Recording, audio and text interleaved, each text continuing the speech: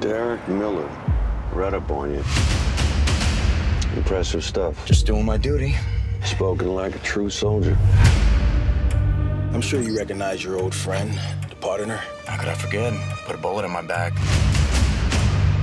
She's been raising hell all over the globe for the past two years. Hold on, hold on, hold on. Last week, Pardoner stole a piece of technology.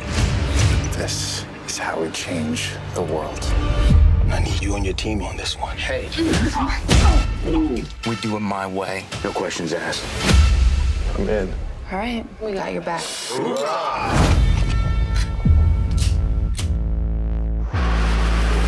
Not loving the spot, boss. Martin, he's coming here.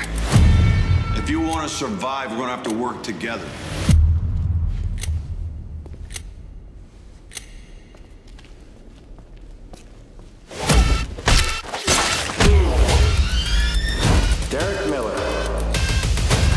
Just remember, we have all the manpower and all the leverage. Dad! He's using my daughter to get to me. You got kids, Miller?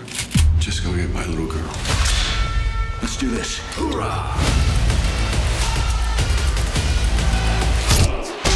Come out, come out, wherever you are. Hoorah! You truly do not know when to quit.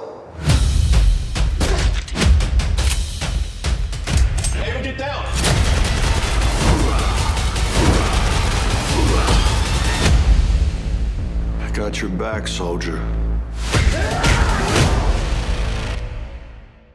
Hey, thanks for watching. Did you know that the greatest rivalry in Kung Fu is not between any hero and villain, or even between two popular actors, but between two studios, Shaw Brothers and Golden Harvest? Golden Harvest was founded by former employees of Shaw Brothers, which surely adds to the rivalry. The two studios are responsible for virtually all of the best loved Kung Fu films.